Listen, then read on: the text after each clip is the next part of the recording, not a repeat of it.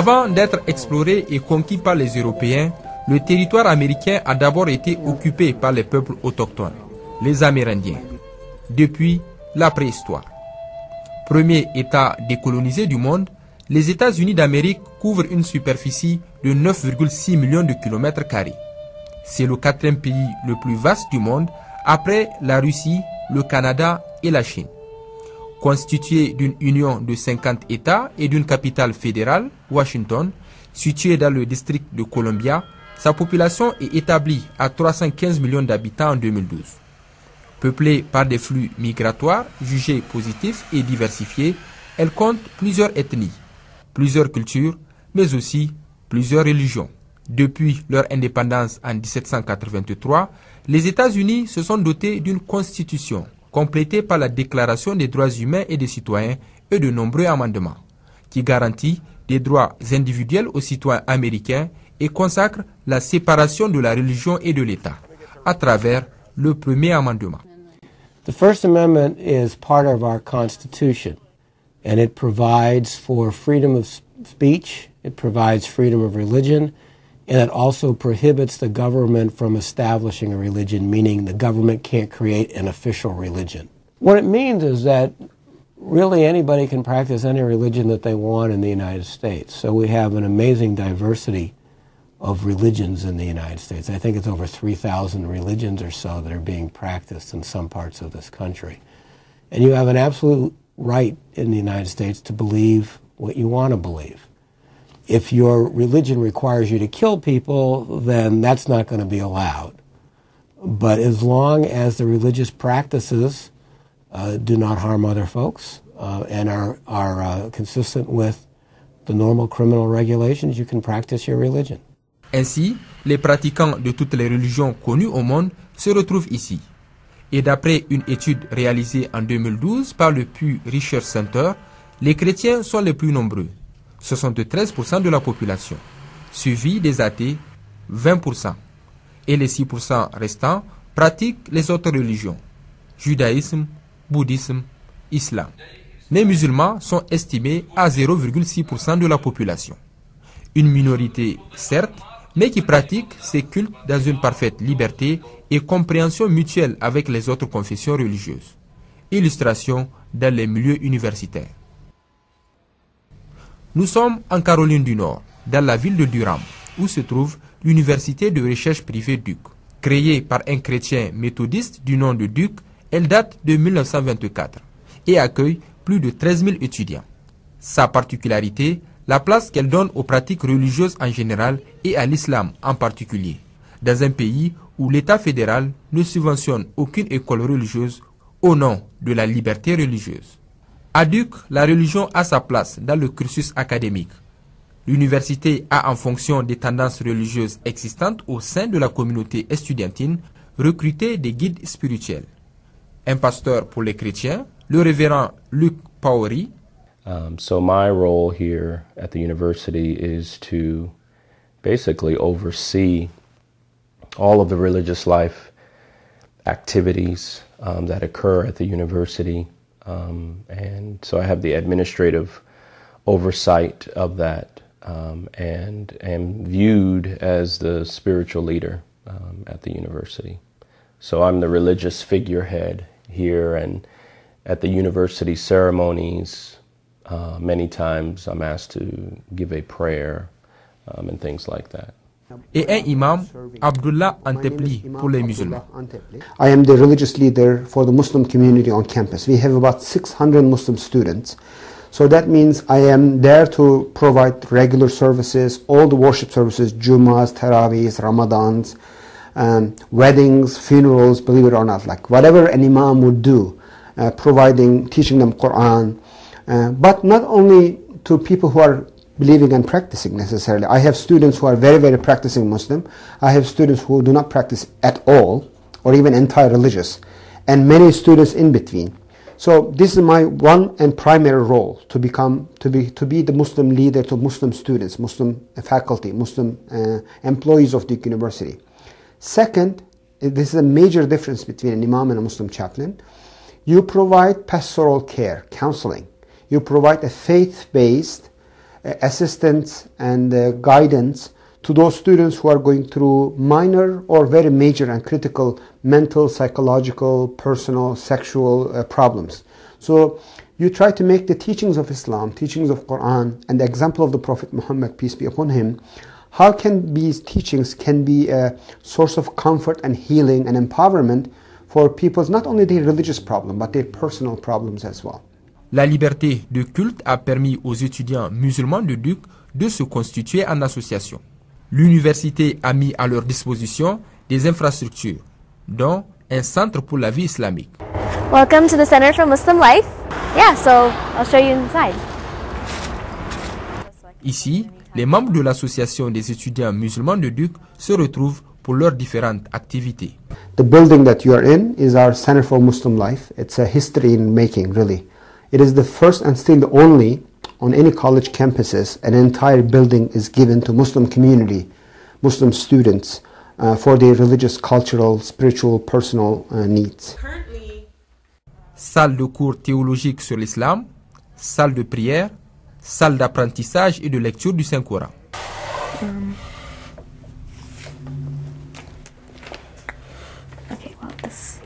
فقالوا أنؤمن لبشرين مثلنا وقومهما لنا Pour Shajuti Hussein, vice-présidente, les étudiants musulmans de l'université de Duc ont trouvé leur place dans la communauté universitaire. I feel like honestly we don't really feel that anymore just because there's so many diverse students here from all over the country, all over the world, um, with so many different religious backgrounds that the even though the majority religion is Christianity here, we don't necessarily feel it. Also because um, maybe not all Christians necessarily um, mm, maybe practicing or advocating Christianity in that in that way. Everybody's very open to learning about other faiths. Um, so I think that's a nice, that's a really good message that Duke gives is that um, we're open to learning about everybody's cultures and faiths and respect, respecting them too. Les relations sont très conviviales et amicales avec les autres confessions religieuses, comme les chrétiens. The relationship with the uh, people of other faiths at school is really good. Alhamdulillah, everyone's very understanding. Sometimes I'll pray salah outside and people will see me praying. Either they won't ask questions or somebody asks a question while I'm praying. Somebody else who's non-Muslim will come by and answer it for them. So very understanding, alhamdulillah. I think it's uh, it's fantastic to have to have a group of people who have this, who share the same ideas about spirituality and about behavior uh, in a college setting. Absolutely, I think it's uh, it's wonderful, actually, and uh, you know it's very it's very intellectual. It's very open. There's no extremism whatsoever. So I think it's a very healthy forum, and I. I think it's a great students for, uh, especially Muslims in a as a minority in the United States. I think it's, uh, it's a fantastic resource to have. We, you know, got this one after just for prayer, and then that's our center. Um, سمع الله لمن حمده السلام عليكم ورحمة الله that one of the main reasons I came to Duke University, first of all, was the Muslim community here, and how they have we have a cha- an, an imam, we have a center that uh, you you've already seen, and so part you know part of that reason was having that close knit community. So I think within the Muslim community, I feel very special. I feel like it's my family because in college here you live you know away from home, it's very hard, but you know they act as a family. As part of the larger community, I think I also feel you know that that I'm an integral part of this Duke community. Whether it's talking about religion with my friends or just interacting with them, it's really important to do that on a college campus where it's safe and you're all learning from each other uh, in the early process, and then going out, going outside and keeping those connections. So I think both being Muslim and you know with the wider community, it's really nice. Dont l'imposante chapelle érigée dans le campus universitaire abrite chaque vendredi à son sous-sol une activité particulière. This is our Juma space. Uh, every week, about 100 and 120 Duke students, we congregate here. We remove the chairs. We get rid of all the Christian icons and the pictures out of the room, and we turn in this place into a masjid where we do our weekly Juma services. Une salle de prière de vendredi au sous-sol d'une chapelle, le contraste est saisissant. Mais pour l'imam Abdullah Antepli et le révérend Luc Paori, cela a une autre dimension.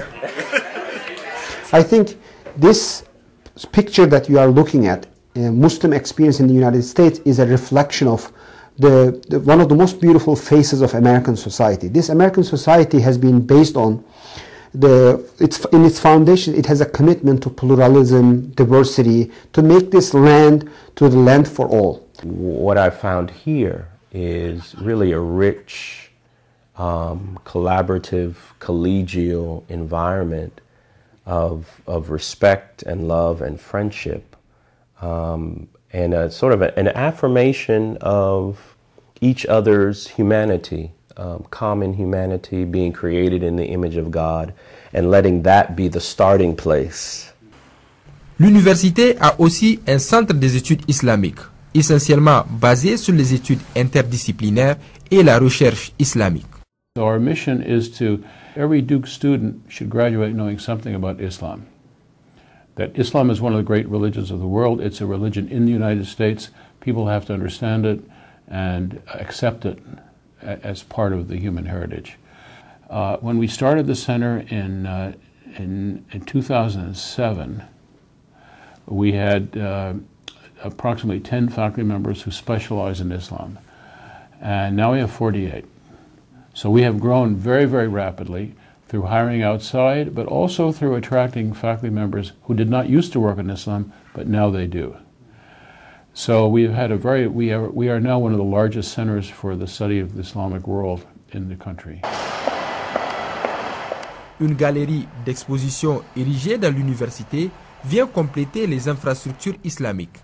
Ici sont exposées plusieurs œuvres d'art de la culture islamique collectées de par le monde par Doris Duke, la fille du fondateur de l'université de Duke. Doris Duke uh, was the only daughter of James Buchanan Duke, who was one of the founders of Duke University, along with his brother and his father. Um, she was an heiress, a philanthropist, and a collector. And she began collecting Islamic art during her honeymoon in 1935. Um, so, this exhibition contains 60 objects from that collection, uh, which actually uh, has overall 2,500 objects. So, this is a screen from India, wood screen with uh, ivory inlay. So these two plates, they're from Turkey. Uh, I believe these two works are from Spain. Um, and this last one on the end is from Morocco. Un peu plus loin de là, l'Université de North Carolina, basée à Chapel Hills, une université publique qui regorge d'étudiants pratiquants, qui ont aussi des associations. Mais contrairement à Duke, ici, il n'y a pas d'infrastructure religieuse affectée aux étudiants d'une religion ou d'une autre les responsables de l'université sont très regardants sur le sujet. Tony Patterson s'occupe des organisations associatives des étudiants. Um, any recognized uh, student organization has to go through the university to be formally considered an official group. So we actually have over 650 recognized student organizations in general, and so all of those groups go through an annual process that my office oversees. Um, they have to uh, submit a formal paperwork, a, a, a plan, uh, bylaws or constitution, um, founding documents, things of that nature that we review, and then they also submit um, a basic understanding to abide by university policies and procedures and things of that nature. Comme pour toute association d'étudiants, une salle comme celle-là peut être mise à la disposition des étudiants musulmans s'ils en formulent la demande. Within the building, we have about 34 groups that get an office, and then we have another 20 that we give storage space to. So each year, all groups reapply for space, and the Muslim Student Association is one of those groups. Sophia Dar est présidente de l'Association des étudiants musulmans du Coran Ahmadiyya. Elle est engagée dans un processus de reconnaissance de son association et projette déjà sa première activité un don de sang à la mémoire des victimes des attentats du 11 septembre 2001. We wanted to show everybody here that Muslims were peaceful and that we were just as hurt by the events that happened on 9/11 as anybody else. And we thought that a blood drive would be a great idea to give back to the community in the sense because you're getting donors to come in and help save lives in the future. So that was a very successful event, and we are hoping that it's be- it becomes an annual event. So we've done it twice so far. Ils ne sont pas nombreux, les membres de sa nouvelle association. Mais Sophia attend du monde pour cette collecte de sang, puisqu'ici aussi, le dialogue interreligieux est une réalité. Autre lieu, autre illustration, le Centre islamique de Greensboro. Créé en 2003, il est l'initiative de la communauté musulmane de la localité. Il accueille les enfants de la maternelle, du primaire et du collège. Who lives on the trees?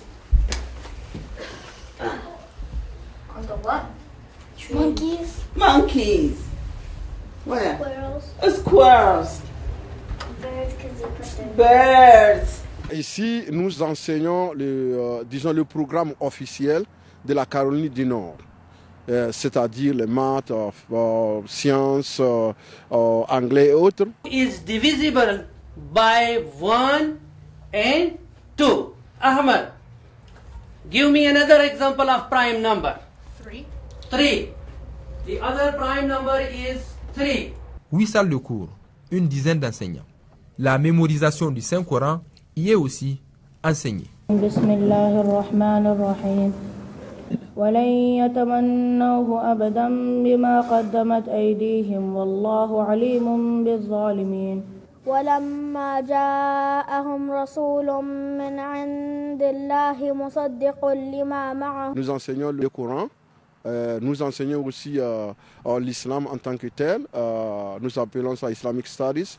Et nous enseignons aussi tout ce qui va dans le sens, n'est-ce pas, de préparer nos élèves à se comporter et en bon musulman. Le centre islamique de Greensboro abrite aussi une grande salle de prière où tous les vendredis, la communauté musulmane se retrouve pour la grande prière.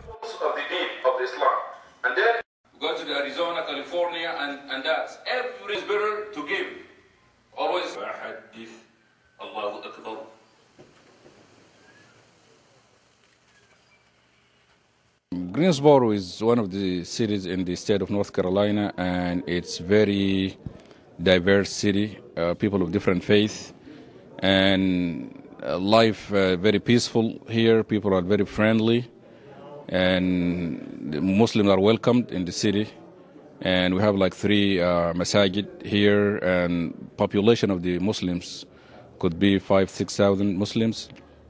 Uh, we have Islamic school. We have different again activities in the city, and it is uh, really very very good city. I live in this city for 17 years, and I like it. Really, it's very peaceful again city, and you are welcomed, and people are very friendly here. Uh, we have a very good relationship with um, all of the uh, faith and religion in the city uh, through organization called Faith Action.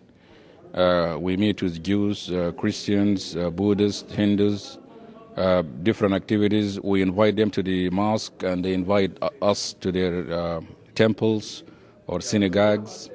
Uh, sometimes we're having even youth camps uh, together uh, with the different faith. So it's very supportive, very uh, positive. Um, any issues that we discuss them uh, together. As I mentioned, are welcomed in our uh, mosque and we go and see them when they invited us. I think uh, religious tolerance is a reality in, in this modern day world. Uh, Seven billion people, of course, you have to be tolerant. Without that, there's going to be strife. And uh, with religious tolerance, you not only learn about the uh, other religions that are around you, but you also have the chance or the opportunity, rather, to build a friendship and a relationship that can not only benefit your religion or their religion, but both religions as a whole. Religious tolerance is the key that I think that will bring the compassion that's needed from religious learning. It's the key to bring out the uh, uh, brotherhood. Au centre islamique, tout comme dans la vie quotidienne des musulmans immigrés ou nés aux États-Unis, il n'y a aucune entrave à la pratique de l'islam. Les témoignages des ressortissants nigériens qui sont nombreux à Greensboro sont assez éloquents. Vraiment, ici, c'est un pays libre. Tu es libre de pratiquer toutes les religions que tu veux. Ici, tu n'as pas de, de pression, quoi que ce soit. Tu es libre, tu peux pratiquer tes- tes- tes- tes reli- ta religion. Donc, sur ça, on n'a pas, on n'a pas vraiment de problème. Américains musulmans, on en a vraiment beaucoup. Et chaque jour, on a d'autres qui vont et puis se repentir et puis devenir euh, musulmans. On est vraiment libre étant musulman ici. Tu peux partir au boulot avec euh, ton foulard. Personne ne va te regarder d'une manière bizarre. Vraiment, on est vraiment libre ici. On est heureux quand même. Dans la capitale des États-Unis d'Amérique, Washington, se dresse à quelques pas du quartier des ambassades, la grande mosquée de Washington.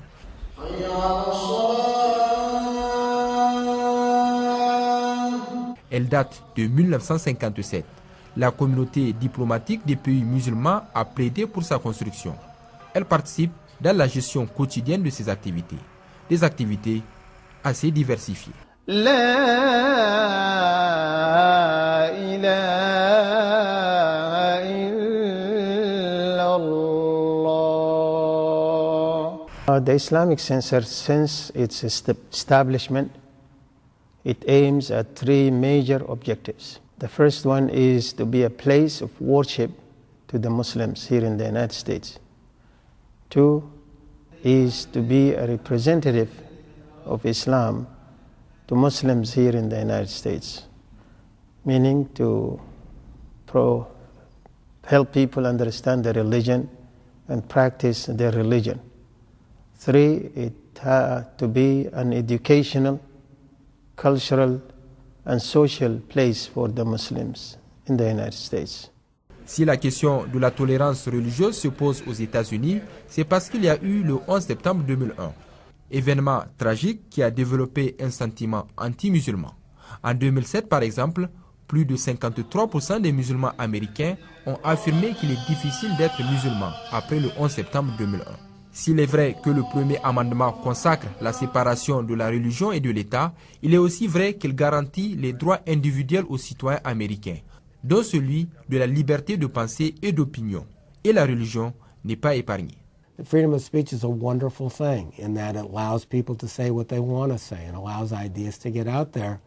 But the price you pay for freedom of speech is that you're often exposed to very offensive things that can be very demeaning and very hurtful to the people who hurt them. But our system of First Amendment freedom says that that's okay. You can't prevent people from practicing their religion. You can't establish a religion, but other people have the right to say what they want to about anybody's religious tradition. De l'université de Duke en passant par le centre islamique de Greensboro et la grande mosquée de Washington, les interlocuteurs que nous avons rencontrés ont une constance dans les discours. Le souci de faire passer le vrai message de l'islam, une religion de paix, de tolérance et de respect de son prochain dans ses différences. Et 12 ans après les événements du 11 septembre 2001, le message a de plus en plus des échos favorables. La communauté musulmane aux États-Unis ne cesse de s'agrandir.